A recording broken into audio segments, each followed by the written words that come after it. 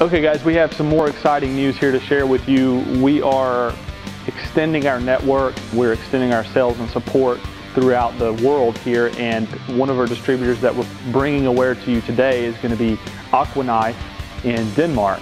You guys in the European markets around Denmark, Sweden area, you guys can actually get your equipment and your spare parts and your services from Spinning speed in Denmark. But again, the brand is Aquanife in Denmark, and the contact there is Spinning speed, and we'll put his contact telephone and his email there for you to get in touch. Thanks for watching.